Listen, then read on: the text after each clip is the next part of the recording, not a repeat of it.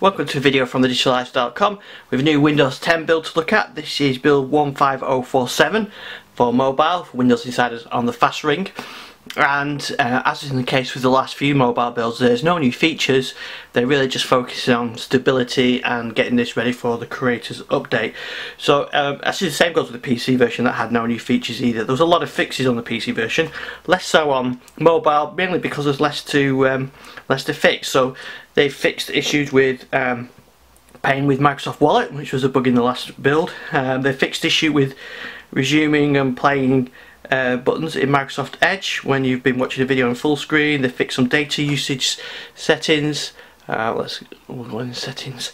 Um, they fixed issues with uh, flickering when watching um, on devices like 950 after you've been in the maps and rotating around.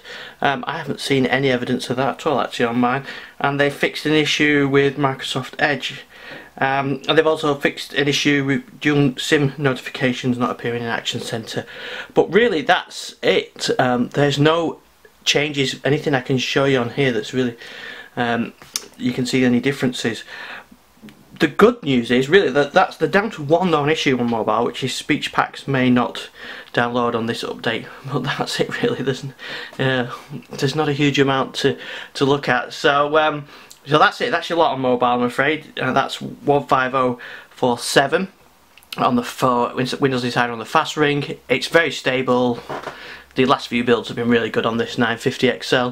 I don't see why this would be any different. They are really just getting down towards the end of the development process so this should get it ready for update. So go on our YouTube channel you can see all our um, Windows 10 videos right back to very first previews. Thanks for watching.